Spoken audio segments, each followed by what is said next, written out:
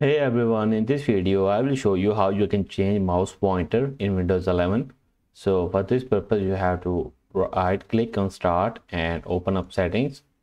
And after that you have to go to the accessibility setting. And here you have to click on the mouse pointer and touch. And here you can choose your pointer style. As you can see the pointer style is being changed right away so you can choose your own pointer as I'm choosing right now. Uh, after choosing the pointer you can change uh, increase or decrease the size also or you can uh, play with other settings as well. So that's it. That's how you can do it. So thanks for watching.